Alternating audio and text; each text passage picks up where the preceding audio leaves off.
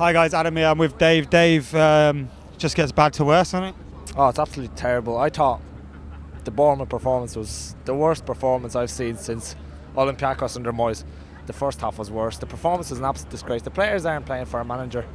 Don't know where we go from here because what's happened is, as you see with Chelsea, player power's taken over. It's like the players don't want to play for him, and then there's frustration in the ground. It's just we're playing so so badly, and then Leicester's a, Leicester are nine point clear clear of us. It's not it's not good enough, Adam. It really isn't.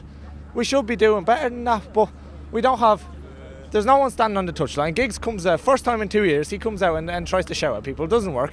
We don't have anybody on the pitch to eat the players' head, heads off.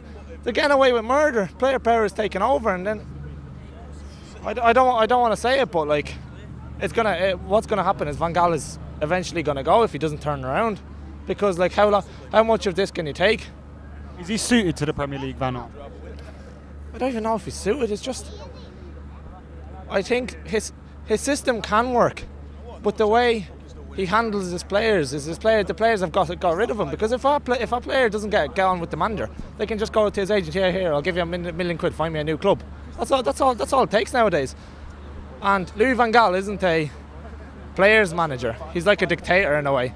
And the players have got sick of it. So like, People said that's what Manchester United needed when Moyes was here. yeah, that's true. That's true. But times have moved on. I, I'm, I'm going to admit it. I was crying out for a manager like that, but it doesn't work that way nowadays. Football's moved on, and then we're playing this tippy tappy football and all that stuff. Is like they had two chances. They scored two goals. First half we didn't do anything.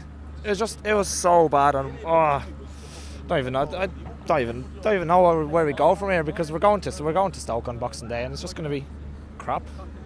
Stoke and Chelsea up next as well. It doesn't get easier, does it? Yeah, now like now like now like now like Chelsea got Mourinho off their back and all that stuff, all that stuff. They're they're all winning games now, and like Stoke, if we don't if we don't win the next two games, I, it's, it's it's all a joke, Adam. It's, seriously, it's all a joke. Like even even with with the way we're dealing with our players, it's not like we have bad players. It's just the mismanagement of them.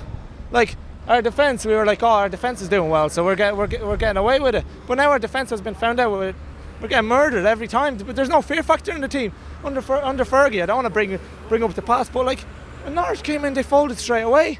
Now here they're having a go. They scored two. They scored two goals. I felt De Gea should have saved both, but still, teams aren't afraid to have a go at us. And then like we just fold.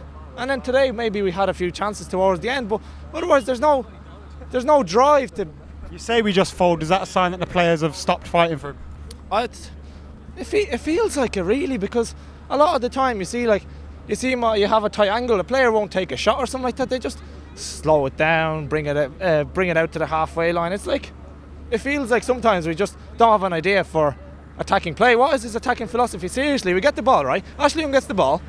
Who stood up to Fellaini? Fellaini fouls. Repeat. That's all it is. You know what I mean? It's not right. We're better than this. Cheers, Dave.